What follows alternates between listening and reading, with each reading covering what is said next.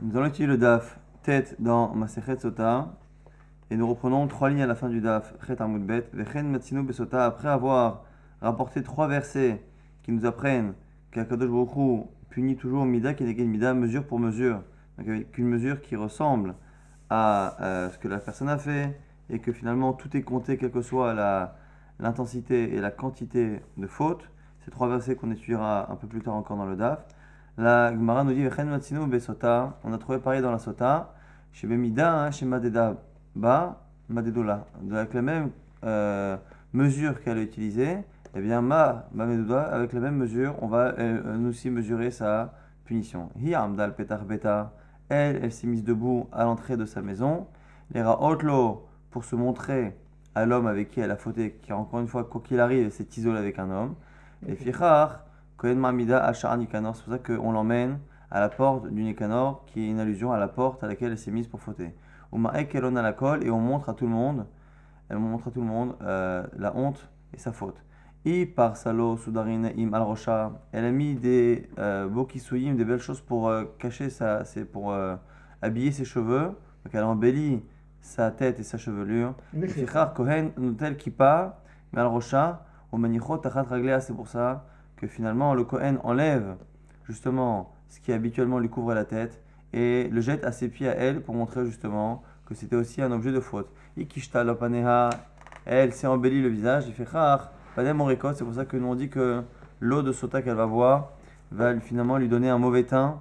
Elle a maquillé ses yeux, les fichar boltot, c'est pour ça que euh, la Torah nous dit aussi que ses yeux, enfin c'est le haram qui nous disent que les eaux de sota vont finalement abîmer tout son corps, donc même ses yeux vont avoir tendance à sortir de leur orbite. Alo et Les firar kohen soter et Elle, elle a tressé ses cheveux pour lui, pour cet homme-là. Eh bien, le Kohen va lui défaire justement sa tresse. Ir atalo etzba. Elle lui a montré son doigt pour lui montrer où la suivre et fauter. Eh bien, on dit que ses ongles tombent. Ir hagralo Elle elle s'est ceinturée avec une, une ceinture qui était utilisée justement pour fauter. C'est pour ça que le Kohen amène cette corne qui était faite en, matériau, on a dit un peu euh, de mauvaise qualité, et qu'il l'attache à ses habits. Elle a donné entre guillemets ses, ses, hanches pour fauter. Et là, ici, on parle du cas où l'eau de Sota va, euh, va marcher, va fonctionner qu'elle a fauté. Eh bien, eh bien c'est ces hanches aussi qui vont euh, tomber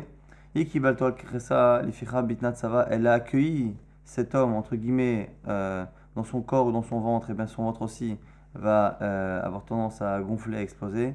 Et elle lui a servi à manger quelque chose de très très bon pour lui faire plaisir à cet homme-là interdit. C'est pour ça que le korban qu'elle apporte, c'est fait avec de l'orge, donc un, de, euh, un aliment qui en général est réservé aux animaux. Mais il lui a fait boire du bon vin dans des verres euh, très très beaux. Les Kohen Mashka Amarim. C'est pour ça que finalement la Torah demande au Kohen de lui faire boire des eaux amères dans un verre, dans un ustensile en argile, donc de mauvaise qualité. Et Astava Seter, elle a fait les choses en cachette. Et Akadosh Baruch Yoshev Seter Elion. Hachem, justement, il est dans les endroits qui sont cachés. Il est assis dans les endroits cachés. Sam Panim. Et il met son visage là-bas il met ses yeux là-bas, Shnemar, car il est marqué, Noef, Shamra Neshef, l'œil du fauteur, de celui qui euh, veut tromper, faire une relation interdite, et bien Shamra Neshef attend, il attend la nuit, les morts, en se disant, L'autre est afin qu'aucun œil ne me voit. Mais on sait que Hachem, c'est marqué dans le passage là-bas, Panim Yassim, il met sa face là-bas pour justement voir cette faute. D'avoir à autre source, Yastaba Seter, elle a fait les choses en cachette. Comme Pirsema Habagaloui. Maintenant, c'est Kadosh qui va le faire connaître au public. Shinema, c'est marqué. Tikase Sin'a, celui qui cache Sin'a, quelque chose de, détestable. Mais Mashaon, Tigalera Ato Bekahal. Et eh bien, au final, les, euh, donc celui qui Tikase Sin'a, Mashaon, celui qui cache quelque chose de, détestable dans le Mashaon, dans quelque chose qui est sombre, et eh bien, Tigalera Ato Bekahal, son mal sera dévoilé Bakahal en public. Alors maintenant, du coup, ça, c'était pour nous dire tous les détails de la Mida Keneged Mida, qui est à la fois fait, si on regarde bien, par Akadosh Baruch et fait aussi par les hommes, par le Kohen aussi. Donc finalement, c'est complété. Les deux, on utilise ce principe-là. Maintenant, l'Agma revient sur les psukim qu'on a étudiés hier. On avait cité trois versets qui finalement disaient un peu la même chose. Qui disaient que, euh, en fonction de ce que la personne fait exactement, quelles que soient les grandes quantités, petites quantités, la personne est punie exactement. Donc du coup, l'Agmara se demande pourquoi on a besoin d'apprendre tant de choses que cela. Si on, apprend directement le passage qui me dit qu'Hachem, pour la moindre mesure, eh bien, il fait payer, eh bien, j'ai tout appris. Donc, puisque le dernier verset qu'on apprenait, c'était c'est qu'on avait dit que finalement, chaque euh, pruta, chaque centime, chaque petite mesure se rajoute au cheshbon, euh, au, compte final. Ce qui veut dire qu'Akadosh Baruch finalement, compte tout.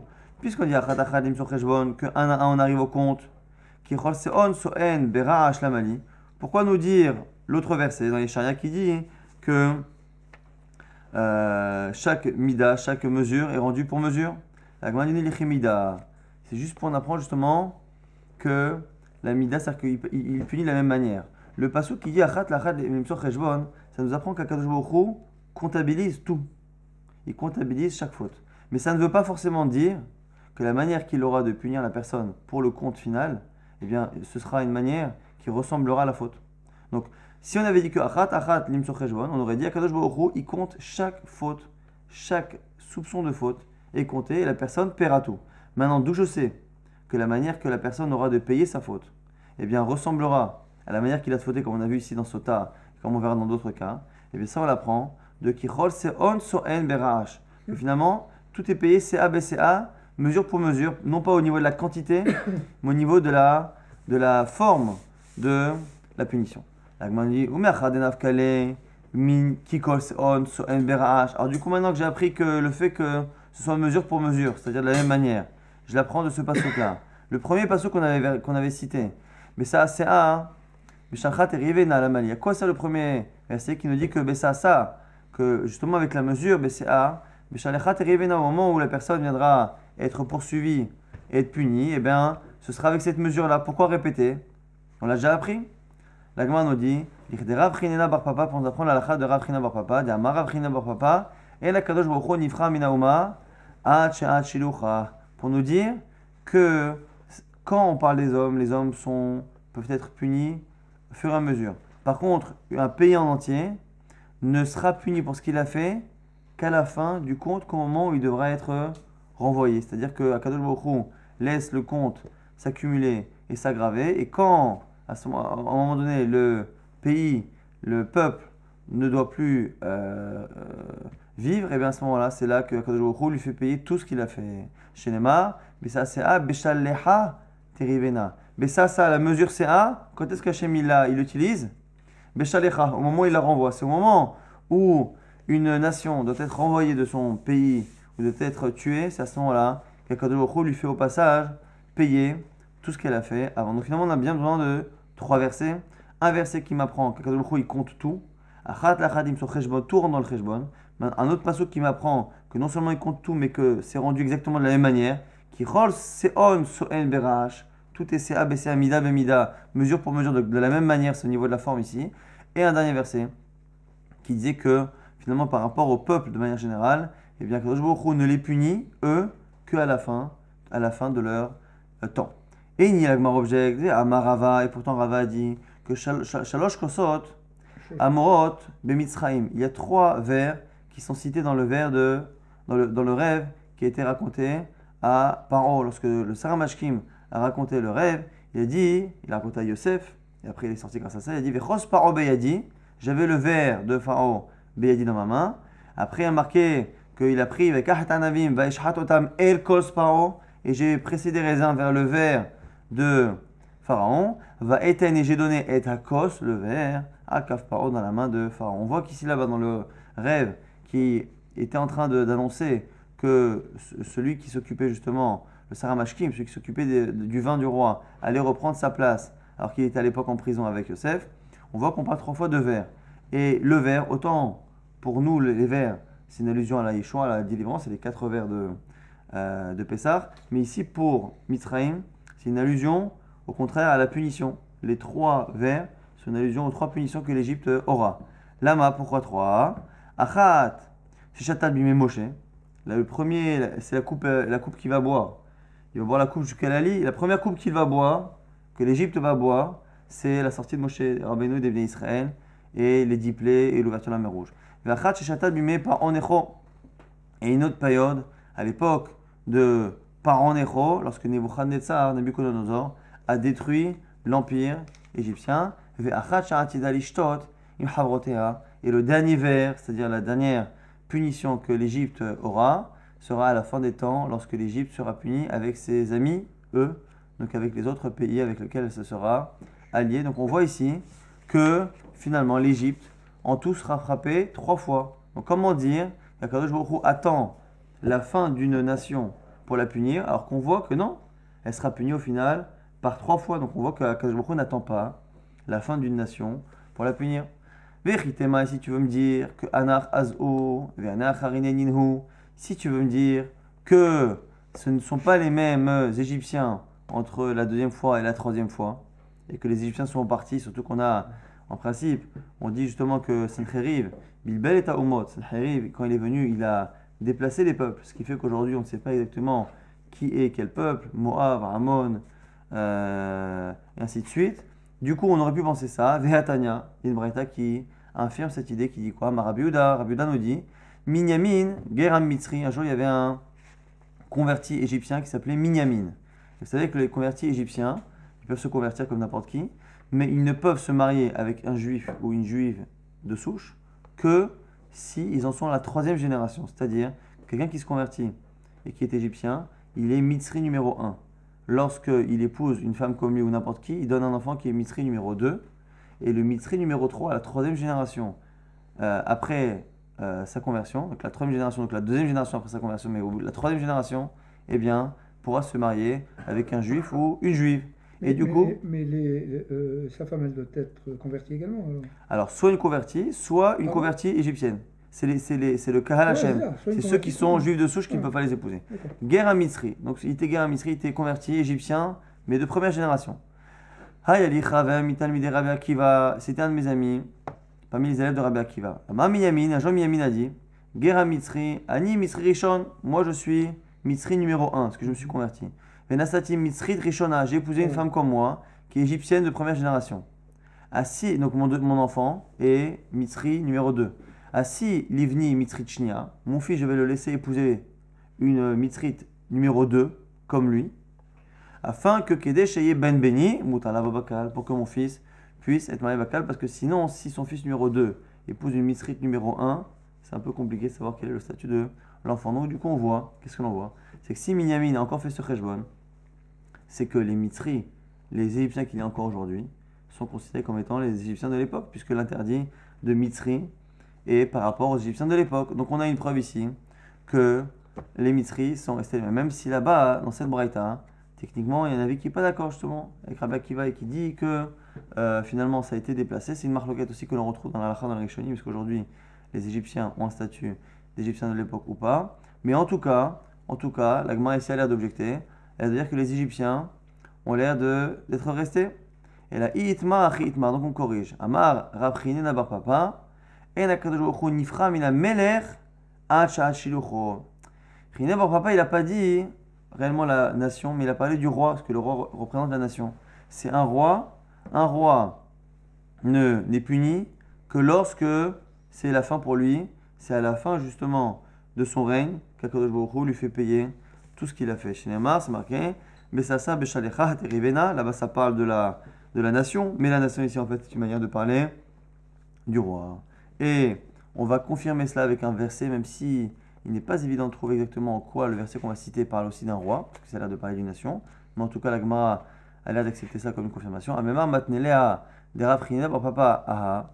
Amemar il disait que c'est à de Chinena par papa, il apprenait d'ailleurs. Maïdirtif, c'est marqué dans la passou dans Malachi, qui ani Hashem loshaniti. Au sens premier, ça veut dire que moi je suis Hashem loshaniti, je n'ai pas changé. Ve'atem ben Yaakov lochelitem. Et vous non plus, les Bnei vous ne changerez pas, l'Ochilitem, vous ne disparaîtrez jamais. C'est-à-dire, une manière de dire, c'est le sens premier, qui dit que de la même manière que moi, je ne changerai pas, je suis éternel, vous aussi, les Bnei Israël, vous n'êtes pas une nation euh, périssable, une nation qui peut être euh, euh, exterminer. Ça, c'est le premier sens. Mais maintenant, on va l'expliquer différemment.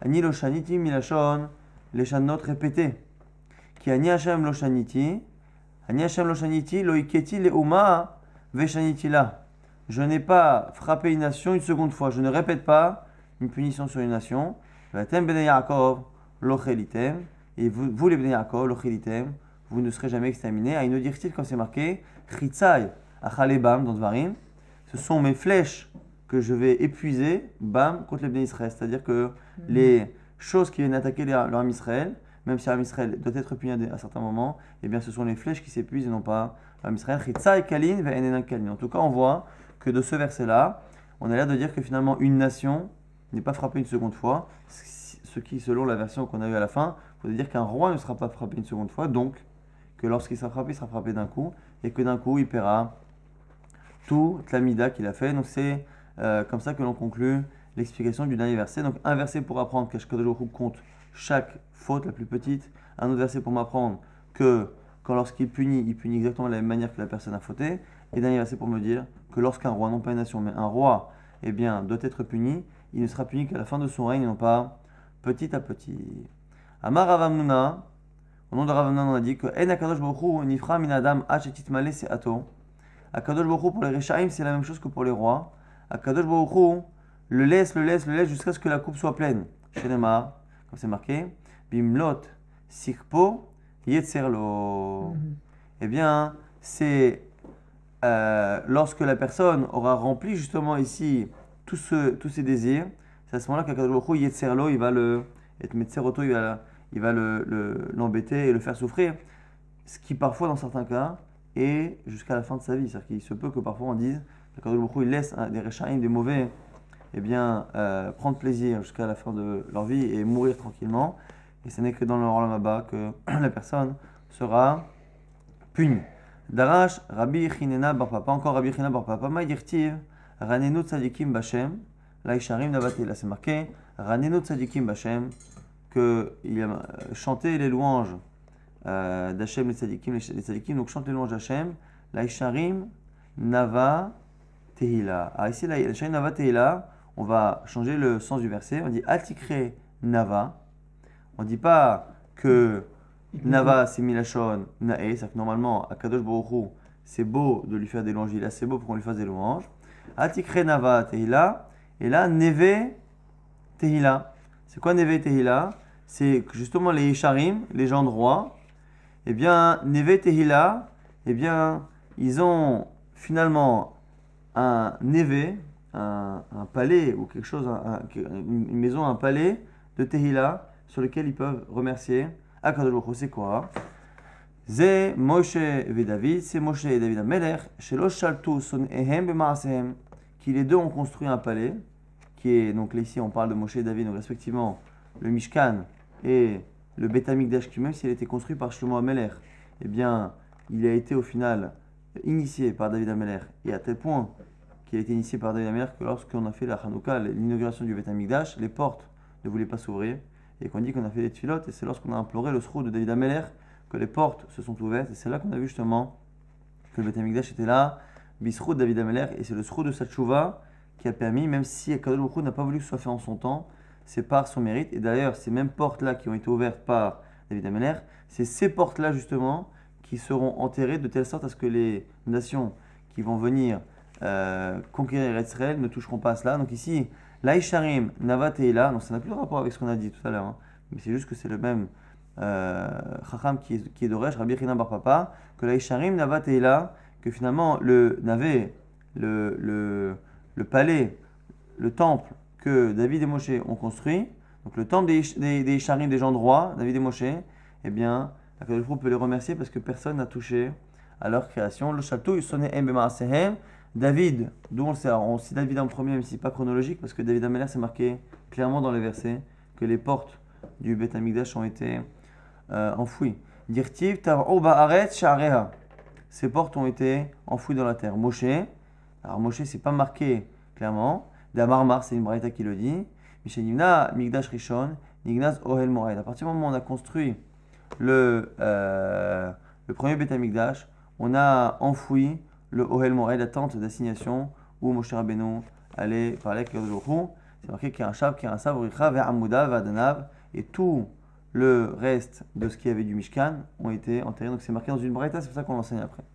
La Gemara dit Echa, où ça a été enterré? Amar Afrizda, Amar Avimi, Tarad Mechilot Shel Echal, c'est enterré sous le fleuve qu'il y a à côté du Echal, du Beth Amikdash. Donc on voit ici que les choses qui ont été créées, les palais, le, le Mishkan et le Beth Amikdash qui ont été construits respectivement par Moshe et David Ameler, en tout cas initiés par David Ameler, eh bien, ont eu le mérite de ne pas, être, de ne pas tomber dans les mains des euh, nations qui ont pris euh, Eretz Israël. Tanora Banan, une braïta qui nous dit Sota, encore une fois, sur, le, sur le, les, les, la punition de la Sota. Sota natna habemi sheno raouila. La Sota a posé ses yeux sur un homme qui n'était pas apte à elle, qui n'était pas pour elle. Ce qu'elle a voulu, on ne lui a pas donné. Et non seulement cela, mais ce qu'elle avait à la base, on le lui a enlevé car il y a un principe. Chez Kolanoten Ainav, mais tout celui qui pose ses yeux sur ce qui ne lui appartient pas, non seulement on lui donne pas ce qu'il veut, mais on lui enlève ce qu'il a, parce qu'encore une fois, il a voulu prendre à quelqu'un, et eh bien on lui prend ce qu'il a. C'est une sorte de mida qui n'est mida, mais un peu comme même, c'est-à-dire qu'il a voulu enlever à quelqu'un, même s'il n'a pas réussi, et eh bien on l'enlève.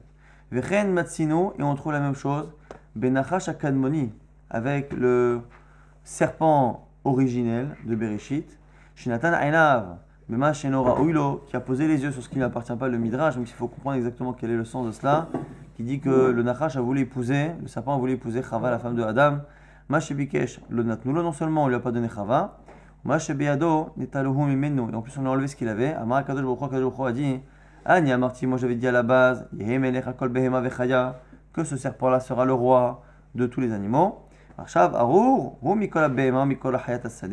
Et maintenant il sera maudit parmi tous les animaux.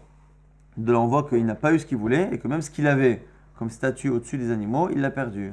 Ania Martilla l'herbe Komaz Kufa. Moi j'avais dit qu'il marcherait debout. Maintenant il marche sur, ses, sur son ventre, sur sa gorge. Ani Amarti. Moi j'avais dit que ce serait le seul animal qui mangerait les mêmes mets que l'homme.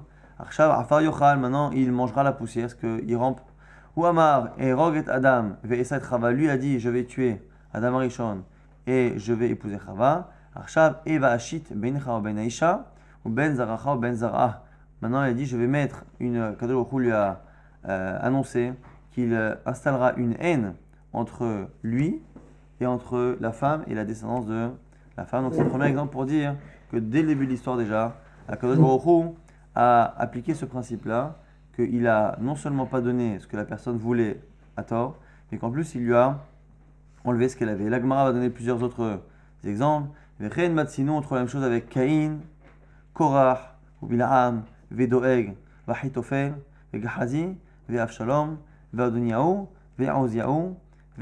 Alors très rapidement, on va essayer de dire c'est quoi ces cas-là. Caïn, c'est pas évident. Caïn, c'est pas évident. Donc Caïn qui a tué son frère Evel. Est-ce que il a voulu, on a, on qu'il a voulu épouser sa demi-sœur, sa sœur qu'il ne devait pas épouser. Donc la mauvaise sœur qu'il devait épouser, il pouvait épouser une et pas l'autre. Il a voulu épouser celle qui était sa vraie sœur. Il y a qui disent que c'est parce que Caïn et Evel s'étaient partagé le monde et qu'il a voulu la partie de Evel. En tout cas, il a fini par tuer son frère et par être maudit. Korah a voulu prendre la Keuna. Bilham, il a voulu euh, tuer l'armée Israël et prendre de l'argent pour cela justement auprès de Balak et finalement il n'a pas eu son argent et il n'a pas réussi sa mission. On a euh, Doeg, Doeg qui était avec Shaoul et qui a été jaloux de David Ameler et qui finalement a euh, essayé de faire en sorte que Shaoul déteste David et le poursuive et finalement il est mort à un, âge très très jeune, à 34-35 ans. Euh, Ahitophel, Ahitophel, il a voulu prendre la marque de David et lui aussi est mort très très jeune, il est mort à 33 ans. Gahazi, Gahazi c'était le, euh, le, serviteur de Elisha, et il a voulu prendre l'argent d'un des serviteurs du roi de Aram, et bien finalement euh, il a été frappé par Tsarat.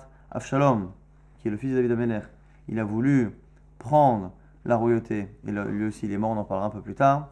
Adoniaou, Adoniaou qui est un autre fils de, euh, de David Ameler, a voulu prendre celle qui n'a pas été réellement physiquement la femme de David Amener, mais elle qui a été euh, Mesharet et Toto, qui, celle qui, qui s'est occupée de lui à la fin de ses jours, eh bien lui aussi, euh, il a été puni. Oziaou, pareil, Oziaou, le roi de Yehuda, eh bien, il a voulu euh, prendre la place du Kohen Gadol et du coup, il a été frappé de Sarat. Et Aman, il n'y a pas besoin de préciser qu'il a voulu s'attaquer au peuple d'Akadosh Baruch et qu'il a été puni, comme tout le monde le sait.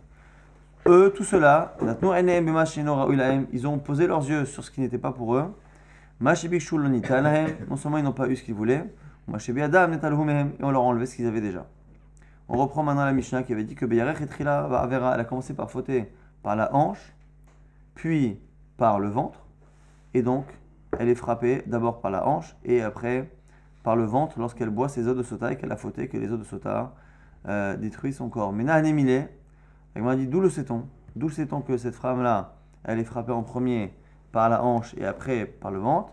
Il est ma, si tu veux me dire ce qui est marqué dans la Torah, ça marche pas parce que la Torah se contredit. Pourquoi? Mishum Dirtiv, tu le premier verset dit quoi? Betet Hashem et Nofelet, Vet Bitner Tsava. La Torah annonce à cette femme-là que Hachem va faire en sorte que, ta hanche tombe et que ton ventre euh, explose. Ce qui veut dire que ça a l'air d'être dans l'ordre. D'abord la hanche. Le problème, c'est que le verset se contredit. Ve'active, c'est marqué. À la même page, c'est marqué. Ve'tsavta bitna.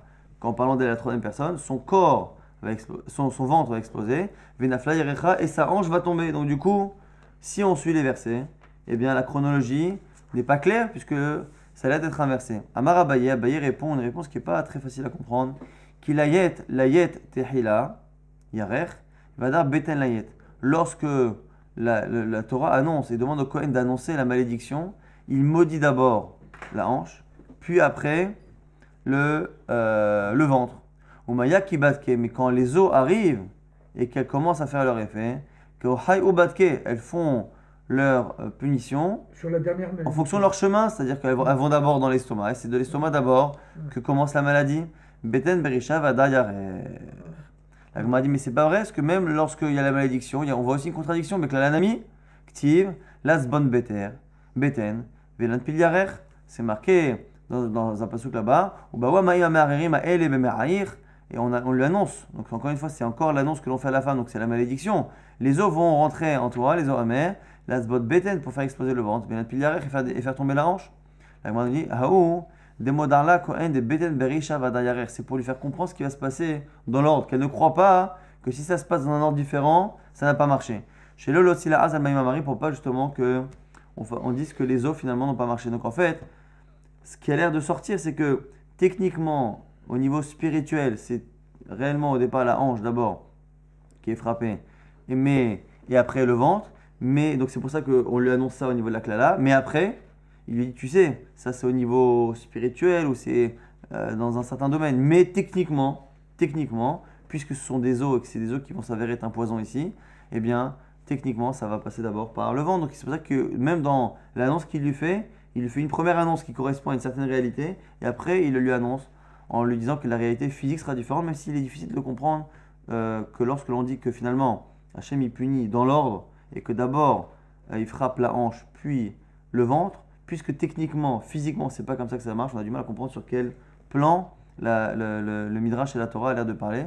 Donc c'est une question qui reste entière. Nouvelle Mishnah, qui nous parle encore une fois de ceux qui ont été punis, Mida Keneged Mida. Ici on va parler de Shimshon. Shimshon c'est un personnage assez particulier. C'est un des chauffetiers, un des chauffettes du Ham Israël, qui ont dit qu'il a été chauffette, il a jugé, il s'est occupé du Ham Israël comme Avichem Sheba Shamim, comme notre Père qui est aux cieux. C'est-à-dire que per- personne quasiment s'est occupé du peuple comme Shimshon. Et malgré tout, et malgré tout, il y a eu un comportement de Shimshon qui a eu trois fois des relations avec des femmes interdites, des femmes, à chaque fois des femmes des Philistines, donc des gens de, des, des- des Philistins, avec, alors selon la majorité des commentaires, des femmes qui étaient converties, mais euh, selon certains qui, n'étaient pas, qui pensaient le Abravanel pensent qu'elles n'étaient pas converties, mais quoi qu'il arrive, même ceux qui disent qu'elles étaient converties, eh bien c'est aussi une marque qu'on a vu dans la Sereti Bamot. Est-ce que certains peuples comme ceux-ci, lorsqu'ils sont euh, même convertis, qu'on a le droit de les- épouser Donc c'est une souga très très complexe. Shimshon, quoi qu'il arrive, a fait des choses qui étaient euh, pas habituelles et pas tellement autorisées. Shimshon, ahar enav. Shimshon a suivi ses yeux. Les Fichar, Nikro, et. C'est pour ça que sa punition finale a été que les Philistins lui ont euh, crevé les yeux. Chez Neymar, c'est marqué. Donc ils l'ont attrapé et ils lui ont crevé les yeux. Avshalom.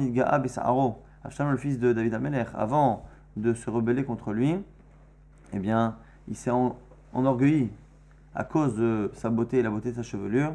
Et fichach nitla c'est pour ça qu'il a été suspendu par ses cheveux. Chez Aviv.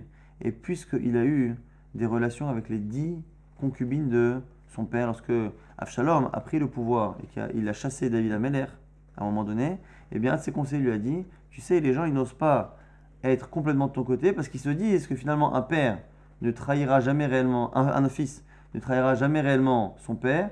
Donc les gens n'osent pas complètement euh, être de ton côté et abandonner David, de peur que demain vous vous réconciliez et que ça leur tombe dessus. Donc prouve à tout ton peuple que toi et David, toi et ton père, c'est une histoire ancienne. Qu'est-ce qu'il a fait devant tout le monde? Il a pris chacune des dix concubines de son père et il a eu des relations avec elles pour montrer que euh, il n'y avait plus de relation avec son père. Les fichar, dites-nous Eser l'unviot ou l'unchiot selon les, versions, chez Neymar, il a été frappé par dix, euh, dix armes. Vaisobo Asara Ni'arim, il y a dix jeunes soldats. Qui, qui portait justement les, les écuyers de Yoav? Vayako et Avshalom et Yamituhu. Et ils ont frappé Avshalom, donc il a été frappé de les 10 dix. coups par rapport justement aux 10 femmes de son père qu'il a prises. Ou le fiche et Ganav Shalosh Genevot. Et puisqu'il a volé trois fois, c'est-à-dire qu'il a trompé, ici on parle de euh, Gnevat Da'at, il a volé le- le- le- l'esprit, il a volé les gens, il a trompé les gens. Lève Aviv, il a trompé son père, parce qu'il il lui a fait croire évidemment qu'il était un bon fils, alors qu'en fait, il prévoyait de lui enlever le pouvoir. Velev Beddin, Velev Beddin, Velev Israël, et le cœur du Beddin est le cœur du Ram Israël, parce qu'il faut savoir qu'Avshalom, avant de faire son coup d'État, a d'abord fait toute une campagne de, euh, de persuasion pour essayer de faire croire que c'était quelqu'un de bien. Il est parti voir les gens, il est parti les juger. Il a fait comme si il était quelqu'un de très très proche du peuple pour justement faire en sorte que les gens l'apprécient. Donc il a trompé finalement tout le monde, il a trompé son père, trompé le Beddin et il a trompé le peuple. Et bien du coup, ben, c'est marqué Vashinema Vaiganev, Avshalom, Adche Israël, il a volé l'esprit, le cœur des gens d'Israël, c'est qu'il leur a menti. Et c'est pour ça qu'il a été. On lui a planté aussi trois bâtons, trois cèpes chez Neymar. Yoav, il a pris. Il a pris trois, trois sceptres, trois euh, bâtons dans sa main et il les a plantés dans le cœur. Donc on voit que son corps et son cœur, le cœur par rapport au fait qu'il a trompé le cœur à trois reprises de trois types de personnes différentes, et le reste du corps par rapport au pilakshim, par rapport aux concubines de son père qu'il a prises. Atova. Et maintenant, pour terminer bien, on nous dit que c'est pareil pour les bonnes choses. Ceux qui font des mitzvot, eh bien, ils sont récompensés aussi. Et Mida, Keneged, Mida, de la même manière.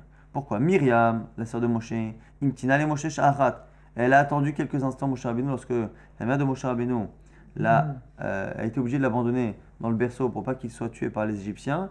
Eh bien, elle, ce qui était sa grande sœur, qui avait quelques années, 7-8 ans, eh bien, elle a accompagné le berceau et elle a attendu quelques instants pour essayer d'être certaine qu'il ne lui avait arrivé rien. Merachok. Et euh, elle est restée de loin.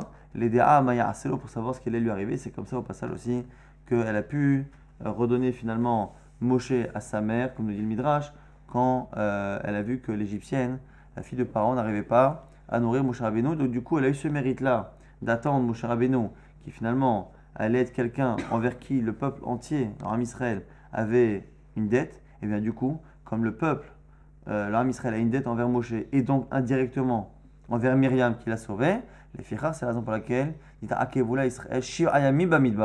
lorsque euh, Myriam a été frappée de Tsaraat, selon le Midrash, parce qu'elle a parlé justement contre Moshe Rabbeinu, eh bien, elle est restée en Tsaraat, tout le peuple. Donc 600 000 hommes de certain âge, donc presque un million et quelques de personnes, ont attendu ces jours, sont restés bloqués par Kavod pour Myriam, chez les vers Amlonassar, Adéasef Myriam. Et bien, le peuple n'a pas voyagé jusqu'à ce que Myriam puisse rentrer à nouveau dans le camp. Yosef, Zachalik Bor et Aviv. Et bien, Yosef a eu le mérite d'enterrer son père, Yaakov. Et il n'y a personne qui est plus grand que Yosef, chez Neymar, va Ya'al Yosef Likbor et Aviv, va Ya'alu Immo Rechev, Gam Parashim, qui est plus grand que Yosef à cette époque, qui était le vice-roi d'Égypte, et du coup, son voyage en Canaan pour enterrer son père a finalement emmené avec lui tous les grands dignitaires d'Égypte. Et on voit quoi finalement? Milano Gadol mi Yosef. Pour, et pour son enterrement Yosef, qui plus grand que Yosef? Quoi? Chez Asekbo et la Moshe. Car qui finalement a en transporté les Asmot Yosef, les ossements de Yosef? C'est Moshe Rabbeinu. Moshe Zachaba Asmot Yosef, Ben Israël Gadol Mimeno. Shema Vaikach Moshe et Asmot Yosef Et il n'y a personne de plus grand que ce qu'on voit.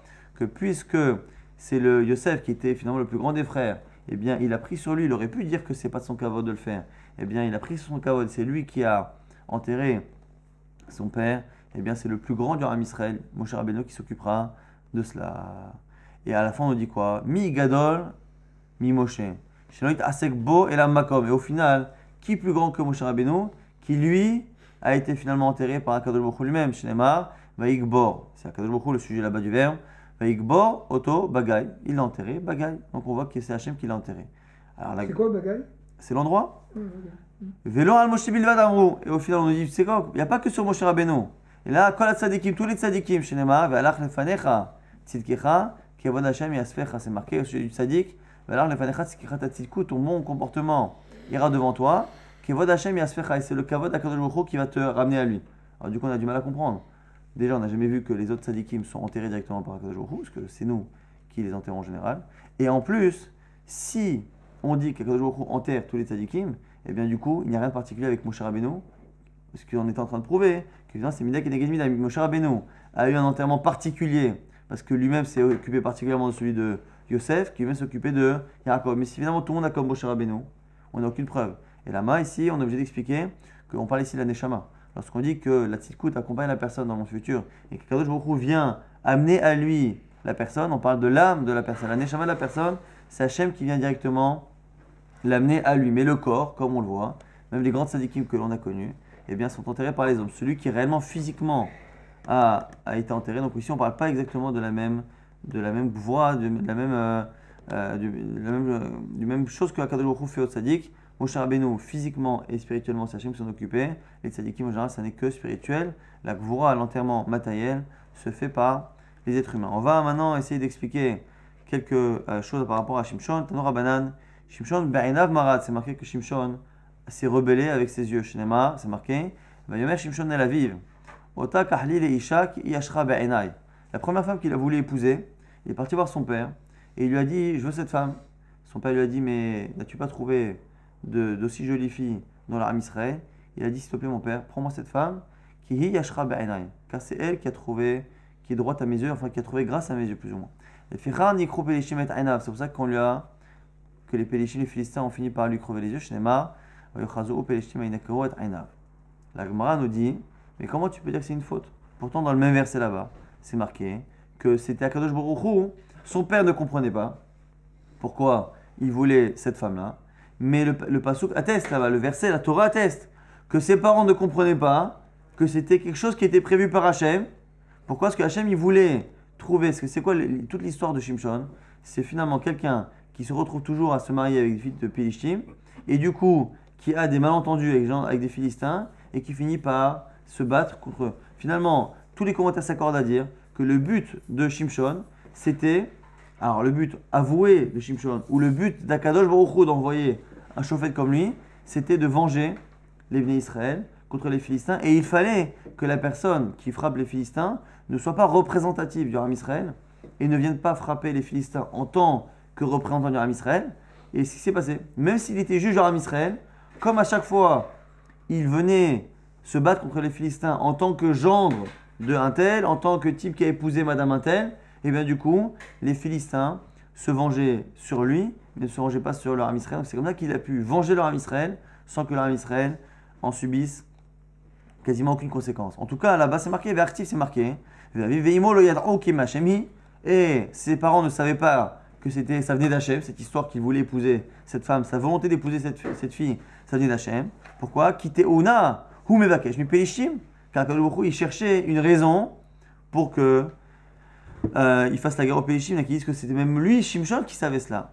En tout cas, la Gemara quel que soit son degré de tzidkout, quel que soit sa kavana bonne au départ, il y a un moment donné où tout le monde s'accorde à dire qu'il a fauté, qui a zal miha, bataille azal. Il n'empêche, il n'empêche qu'à un moment donné, même s'il avait toutes les bonnes intentions, même si Hachem voulait, lui, à un moment donné, il a été en fonction de ce qui était Yachar, ce qui était juste à ses yeux, et non pas en, fonction de ce qu'il fallait, de ce qui était autorisé. Et du coup, c'est la raison pour laquelle euh, on considère qu'il a fait une faute. Tanya Imbraïta nous dit Rabbi Omer, Techilat Kilkulo. Il a commencé par fauter à Raza. La première femme qu'il épousait était de Raza, avant qu'il épouse Dalila. Donc il y a trois femmes. Une femme qu'il épousait en Raza, une femme qu'il épousait, donc après c'est Dalila, et une toute première à Timnat. À Timnat, la première femme là-bas, c'était pas un mariage, c'était juste une relation de znout. Rabbi Omer, Trilat Kikulo Be'aza, les Fichar, Laka Be'aza. Comme il a commencé à fauter à Aza, eh bien il a été frappé lui aussi, il a été puni à Aza. Trilat Kikulo Be'aza, directif, c'est marqué. Yeler Shimshon Azata, Vayasham Isha Zona, Il est parti là-bas à Aza, et il a vu une femme Zona, donc il y a une relation de znout interdite là-bas à Aza. Les Fichar, Laka Be'aza, c'est pour ça qu'il a été frappé à la fin là-bas. Dirti, Vayorido, Auto Azata, ils l'ont emmené à Aza, et c'est là-bas qu'ils l'ont attaché, ainsi de suite.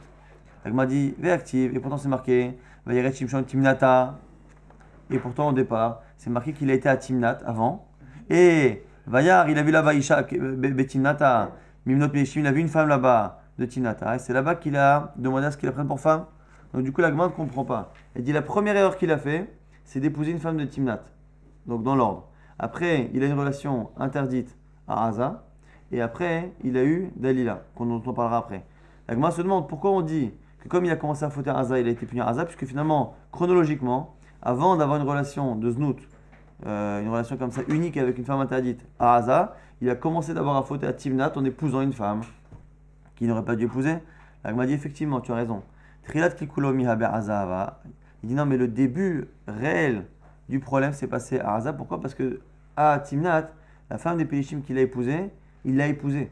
Donc comme il l'a épousée, plus ou moins, plus ou moins, c'était plus ou moins autorisé. Le problème était, lorsqu'il a eu une relation comme ça, de znout, une relation pour rien, c'est à ce moment-là qu'on considère qu'il a réellement commencé à se comporter mal, et du coup, c'est pour ça qu'il a été puni dans la ville de Hazar. Agma continue, dit, Vahi Vahi Avisha benachal sorek, ushma delila. Après ces histoires, eh bien, il a aimé une femme, un endroit qui s'appelle Nahal Sorek, et le nom de cette femme, Delila. Alors, c'est intéressant que les deux premières femmes, celle de Timnat et celle de Haza, la Torah ne nous décrit pas, ne nous donne pas leur nom. Et comme ici la Torah nous dit qu'elle s'appelle Delila, et eh bien du coup l'Agma nous dit tiens, si on nous donne ce nom, c'est que son nom a une signification. Tanya, Rabbi Omer, Rabbi nous dit Il l'onikra shema Delila, même s'il ne s'appelait pas Delila, Roya Ita Delila. On l'aurait appelé comme ça. Pourquoi Parce que son nom évoque ce qui est arrivé à Shimshon. Pourquoi Dildela et Koho, Dildela et Libo, Dildela et Maasav. Elle a ici détruit, écarté sa force, son cœur, et Maasav ses actions. Dildela et Koho sa force, Dirtiv.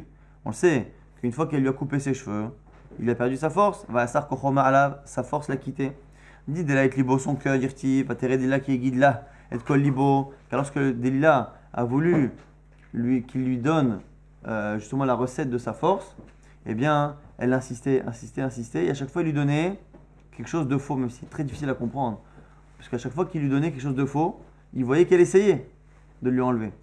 on se demande, on se demande vraiment comment Shimshon a pu tomber dans le piège, puisqu'il a vu à plusieurs reprises qu'elle a essayé de lui enlever sa force. En tout cas, à la fin, lorsqu'il lui a dit, il a marqué là-bas, elle a vu qu'il lui avait donné et libo. Il, avait déversé tout son cœur qu'il avait dit la, vérité. Et donc, du coup, on voit que c'est son cœur aussi qu'elle a abîmé en lui faisant tout dire et en le trompant. Didelet Marasav et ses actes. Mm. Et c'était cas Shrina miné parce que finalement, la Shrina, la présence divine a quitté Dirtiv. Et Hulu Yadar qui Hashem Sarme Alav, lorsqu'il a voulu se libérer de ses chaînes et de ses cornes, il a vu que la Shrina, la présence divine, l'avait euh, l'avait quitté car la force à chaque fois d'Hachem, il a marqué que euh, c'est Roi Hashem, c'est un vent divin qui lui a donné cette force. Delia qui est guide là et Kolibolagma. Maintenant, nous dit maintenant. Il a marqué que Delila a vu qu'il lui avait dit tout son cœur, qu'il lui avait dit la, vérité. Elle a su cette fois-là que la réponse qu'il avait donnée était la bonne, que toutes les autres fois, effectivement, il lui avait donné des fausses réponses. Mhm. Cette fois, elle savait que c'était la bonne, c'était bien ses cheveux de la force. Maintenant, il y a la dit d'où on le sait, d'où elle a su que c'était la vérité. Deux réponses. Amar Marav, Nikarin Emet. Les paroles de vérité sont remarquables. On dit que les paroles de vérité, les paroles qui sortent du cœur, vont directement dans, dans le cœur. Donc quand quelque chose n'est pas vrai, on peut avoir des doutes. Quand quelqu'un est totalement sincère, eh bien la sincérité a tendance à, euh, à sortir des paroles de la personne. Autre réponse d'Abaya, Bayamar, Yada Abo Beotot Sadik, Delomapik, Shem Shemayu Levatala, elle savait qu'il ne prononçait pas le nom d'Hachem pour rien. Et comme lorsqu'il a donné la réponse finale pour donner l'origine de sa force, il a dit Nezir Elokim, Ani, je suis un Nazir d'Akadosh Baruch Eh bien, si c'était un mensonge et qu'il a mis le nom d'Hachem, il aurait prononcé le nom d'Hachem pour rien, elle savait que c'était pas un mensonge. Amra Ashta, Vadai Kushta Amar, c'est sûr que maintenant il a dit la vérité. Agma nous dit. La Gemara nous dit, nous rapporte le verset qui nous dit précédemment comment elle a fait pour euh, lui faire dire la vérité, pour connaître encore une fois sa force et pouvoir le, livrer aux Philistins. Eh bien, on dit qu'elle l'a elle a harcelé du matin au soir, tous les jours, pour qu'il lui dise la vérité. Ma, la Gemara nous dit, mais c'est quoi? Qu'est-ce qu'elle a fait? Pour que finalement il finisse par céder encore une fois, alors que n'importe qui aurait pu se douter qu'elle avait un but finalement de le, livrer. Amar Rabbi Israq, Deber Rabbi Ami. On sait que finalement le Yetzerara de, de Shimshon, c'était les relations, les relations entre autres avec cette femme-là. Et on dit que lorsqu'elle avait des relations avec lui, eh bien, à la fin de la relation, elle s'en allait de telle sorte à ce qu'au moment où, où son désir était le plus grand, eh bien, il avait cette frustration. C'était une manière de le faire souffrir et de faire en sorte qu'il avoue justement quelle était l'origine de sa force. On revient maintenant en arrière, c'est un flashback au fur et à mesure. On remonte maintenant à avant la naissance de Shimshon, lorsque l'ange annonce à la mère de Shimshon que l'enfant qu'elle aura, il sera nazir, mais pas un nazir normal à la naissance, mais un nazir depuis le ventre de sa mère. Donc du coup, la mère n'a pas le droit de boire du vin, c'est particulier. La Nazirut Shimshon, on en a parlé il n'y a pas longtemps quand on fait nazir. Nazirut Shimshon, c'est particulier. Yain. Garde-toi de prendre tout ce qui est vin et lié à, au jus de raisin. Et. Et ne mange rien de tamé. Après, ce qui est tamé, c'est behemet behemat mea, ce sont les animaux taref. Donc la Gemara dit, mais je comprends pas. Pourquoi l'ange a besoin de lui dire, tu sais, comme ton, euh, ton fils il est nazir, tu pourras pas manger de cochon? Ben, C'est pas chaud, dans tous les cas, un juif ne peut pas manger. Maïkol Tamé, Vitu Adashat Varim. Est-ce que jusqu'à présent, elle mangeait taref jusqu'à ce que l'ange vienne lui dire, ton fils sera nazir, donc il faut que tu commences à aller manger caché Pas du tout. Amar Rabbi Israq, de Rabbi Ami, encore une fois, c'est sur Rabbi Israq du Bétamirage de Rabbi Ami qui nous dit, Varim Asurim Benazir. Ce qu'on parle ici de Tamé, c'est les choses. Tamé, c'est interdit en manière générale. Ici, ça lui, il lui dit, ne mange pas toutes les choses qu'un nazir n'a pas le droit de manger, donc le raisin lui-même, la vigne, tout ce qui est lié à la vigne, non seulement les boissons, mais même les aliments solides. On rapporte maintenant, on revient au milieu de la vie, au début de la vie de Shimshon. À un moment donné, il s'est retrouvé sans rien à boire. Et comme il n'avait pas à boire, Vaïfka Elohim est un martesh, Asher Balehi. Et il a retrouvé là-bas, il y avait à un moment donné un cadavre d'un, d'un, d'un hamor, d'un âne, et il y avait les ossements. Et on dit qu'il a cassé, que a cassé les, les ossements, et de ces ossements-là, il y a eu un miracle. Il est sorti finalement de l'eau. Donc il y a eu un miracle, qu'il a trouvé de l'eau. Mais ce qui est intéressant, c'est que le miracle est sorti finalement, euh, sorti un aliment qui est sorti d'un animal qui lui-même est pas caché. Alors, au niveau cache-route, euh, a priori c'était à froid, donc il n'y avait pas vraiment de problème. Mais l'image est un peu bizarre. Et du coup, l'Agmara nous déduit toujours Amar Amar Rabbi Yitzhak de Berabiami, qui avait l'air d'être spécialiste dans Shimshon. Où il va aller tamé Il a cherché des choses interdites. Il a désiré des choses interdites, ce sont les femmes interdites. Les firas, c'est pour ça. Nitlo haya. Sa vie, finalement, a, été sauvée et a été à un moment donné dépendante de quelque chose d'impur. C'est un chamor, c'est un animal, c'est un âne mort, donc impur, qui a sauvé la vie de Shimshon, qui était finalement une manière allusive de dire que même lorsque je te fais un miracle, parce que tu dois être sauvé, parce que tu es un sadique et parce que tu es le chauffeur du Ram Israël, quoi qu'il arrive, quoi qu'il arrive, tu as fauté parce que tu as cherché quelque chose qui était interdite. C'est marqué justement au sujet de Shimshon lorsqu'il a commencé à avoir cette force. Vatachel Ruach Hashem a commencé à, se poser sur lui. Vatachem Yashon Techila. Ruach Hashem, le- l'esprit divin. Et on demande pourquoi il y a marqué Vatachel. Ça a commencé. Pourquoi on ne dit pas directement que le, le Ruach Hashem, l'esprit divin, est rentré en lui? Amar Rabbi Chama bar Rabbi Chanina. Chata Nevoato Shel Yaakov Avinu ici. Vatechem Milashon Chata qu'elle a pris effet. Qu'est-ce qui a pris effet Une prophétie de Yaakov Avinu qui prévoyait déjà l'arrivée de Shimshon, Dirti, et Hidan, Nachash, Alederech. Que Dan, la tribu de Dan, en parlant à son fils avant de sa mort, que la tribu de Dan, que Dan soit comme un serpent qui va sur les chemins. Ce serpent, c'est justement Shimshon qui sera celui qui sortira de Dan, qui sortira de Dan et qui frappera les Péléchim. Les Pharaons et Mahanedan, on dit qu'il a commencé donc à avoir l'esprit divin qui euh, s'est incarné en lui, Mahanedan dans le camp de Dan, Rabbi Yitzhak, des Berabiami, toujours Rabbi Yitzhak, des Berabiami, On voit que la Shrina, elle est recherchée comme finalement un couple où chacun se recherche. Tivacha les Mahanedan, on dit là-bas les Pharaons, que l'esprit divin a commencé à rentrer en lui. Urtivatam, c'est marqué un mot qui ressemble dans les parties du Mishkan qui étaient finalement faites par deux et qui devaient aller ensemble. Les, justement, les, les poignées, par Amon Verimon, par Amon Verimon, Arshula Me'il Saviv, ce sont justement les boules qu'il y avait sur l'habit du Kohen. On voit là-bas que c'est pour dire que la Shrina, le roi Hachem, il attendait euh, Shimshon depuis la prophétie de Yaakov comme finalement quelqu'un qui recherche son Zoug.